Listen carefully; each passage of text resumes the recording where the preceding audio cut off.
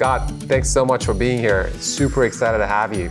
Oh, our sincere pleasure. It's been uh, it's been a great day. Um, you know, I want to get right in, you know, into the questions. I know this is going to be a, a, quick, you know, um, firecracker, but uh, you know, when you started Augment, you know, one of the key things that you know that I heard you talk about this before was like reducing, you know, code bloat that happens often talk to me a little bit about like you know what's going to happen to code base sizes across the globe. You know when you, when this gets deployed. Well, it's more of the problem that AIs have introduced. So um, you know AIs let you spin up new code really easily. Yeah. And uh, the AI, the current AIs are pretty naive about what's already in the code base. So I could have added something in a code base last week, and you want to add something similar. The AI will be like, oh yes, right away. Let's let's keep growing the code base. And so you get this bloat factor um, pretty quickly you know, the ideal AI is one that wants to reuse software that's already in there. And maybe right. you need to adapt the software a bit in order to get more reuse out of it. We'll try to do that. Uh, but Nirvana is an AI that wants to delete code. Oh. And uh, it was a really magic moment for me when uh, Augment proposed its first deletion uh, of software. And it is something oh, that it, it, comes up, and uh, that's going to help us really improve quality. Whereas I think the early AIs have, have actually been causing a, a, a regression in software quality. Wow. So uh, you know, this is fascinating that he touched upon quality because you know, um, you know, in addition to code bloat, code bloat is one thing, right? It's like yes, there's there's a bunch of boilerplate code that's showing up a whole bunch of places where they shouldn't, but quality is suddenly an, an entirely different topic because if software is eating the world and the quality is not quite where it needs to be, and like is is is, a, is the agentic AI and, and the AI that you're using is it going to make it better, worse? Uh, you know, talk to us a little bit about how that works. Well, it needs to make it better. Um, just in the US uh, market alone, I think $2.5 trillion was lost due to software failures. Mm. So, you know, we have a problem with software. Software comes up short of what our desires are for it in functionality, but it's, it's unreliable and it's fragile, right? You change incremental things uh, and, and the software breaks. Um, AI is going to allow us to build much more robust software. Um, so we're, we're doing that now, you know, because we're helping both expert engineers as well as novice engineers avoid mistakes. Uh, so the AI can prompt them along the way. This doesn't look right, or this looks like it's out of uh, your security policy. You might be introducing a security bug here that you want to be able to to close off. Wow, it's not just quality; it's also quality plus security. Yeah, so we're, we're mining, we're trying to mine all of the knowledge that's in your software and it's mm-hmm. the supporting infrastructure. So we can bring those insights to bear. In fact, we'll even look at things like currency. So if um, you're moving away from a database yeah. or in, or moving away from a programming language toward another, we'll try to amplify that signal and accelerate the migration. And if one of your engineers isn't with the program and is trying to push back, we'll try to redirect them uh, in, in the way that you want the software to evolve. And so hopefully we can get to a much higher quality bar, even in just the next few years. That's amazing. You know, this is this is fascinating to me because here's here's what happens in a large organization. Typically, when you're thinking about building something, you almost always imagine engineers think that they're doing that for the first time, right? They never realize that that thing probably has been built already, and and so you start to see, you know, um, the same patterns start to repeat over and over again. But you're, you're, you know, what I'm hearing from you is what we have here is an opportunity to sort of leverage AI to understand that hey, this is being built. I, if somebody's nudging me along, not just a, from a quality and the security perspective, but even from like you know, it can fundamentally. It sounds like it could have a change in terms of like the, the impact, the, the, the, pace with which we can innovate. Is that, have you seen that happen everywhere? It says, hey, you've already built this thing before. You know, I, I do think it's happening. Um, I, software is a little bit like a spreadsheet, right? When you write a spreadsheet and then someone tries to come in and understand what you did, yeah. Uh, they often throw it away and start over from scratch. Programmers tend to want to do the same thing. They look at somebody else's code and they're like, "I don't understand. This isn't yes, quite right. This right. isn't this isn't what I want." Yeah. Uh, so they write new code mm-hmm. um, because they're they don't want to go through the pain of understanding what's already there.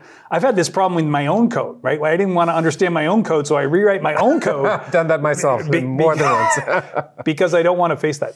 AI really helps in that regard. Um, you know, even if the documentation is out of date, um, the AI can summarize the software and, and, then go fix the documentation so you understand what's actually going on. Oh, that's uh, and it makes everything feel a lot less fragile. You understand the ramifications of a change yeah. um, because the AI is coaching you all through the process. Now, I have a curious question though. If, if, if one of the things that's always you know uh, been interesting is using AI as a co-pilot versus what you're describing is that it's actually now morphing into almost a, a full-blown software engineer, you know, in, in some ways, right?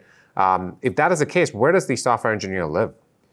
Yeah, so we are big believers in augmenting uh, human intelligence with machine intelligence. Mm-hmm. Uh, the role of the software engineer, I do not think, is going away anytime anytime soon. Ah. Um, you know, the, these AIs are, are helping us make incremental changes, like a step change in the software. I want to move in this direction. I want to implement this pull request or migrate this function or change this user interface.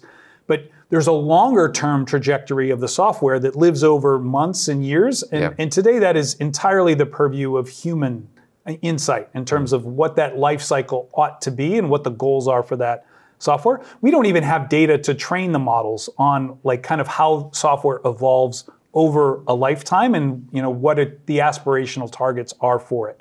So that's fascinating. What we want to do is push down a bunch of those mundane grinding hard pieces of, of work mm-hmm. uh, to let the AI make them easier. And that frees up human intelligence to think more creatively and be able to move more quickly uh, to deliver the software of all our dreams. Now, that's that's wonderful. I mean, I'm, I'm already bought in. Like, you know, here's my here's my question to you.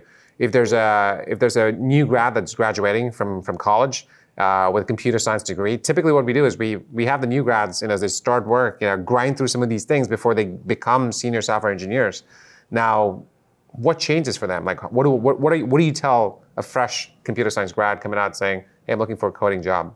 Uh, I'm very bullish on AI leading a renaissance in software engineering. Mm-hmm. Um, you know, I think we're going to invest more when we get predictable return on software. You know, there's so much software debt in the world and so much missing software and software that disappoints.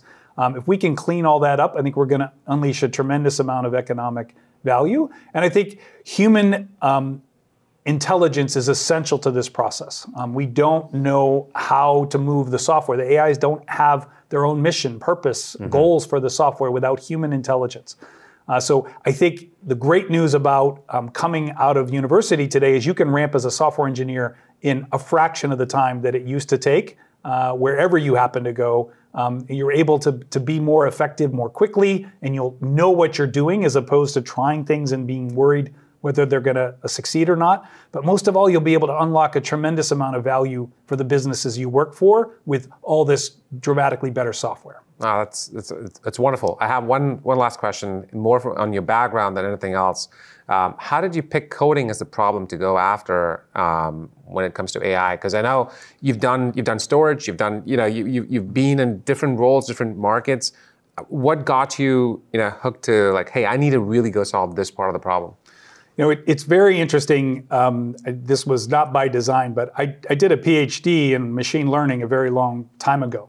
Uh, and I was fascinated then with teaching computers how to learn, and I did it in the domain of programming, although it was symbolic systems, not neural. Oh, so you went to Stanford? I know. No, uh, Carnegie Mellon. Oh, was, Carnegie uh, Mellon was, was my was my school. Uh, but uh, ironically, one of my AI professors was Geoffrey Hinton, who went on to win the, the Nobel Prize. Oh, that's amazing. Uh, and you know, he was a he had a lot of naysayers at Carnegie Mellon even then, and had the fortitude to stick to that research agenda.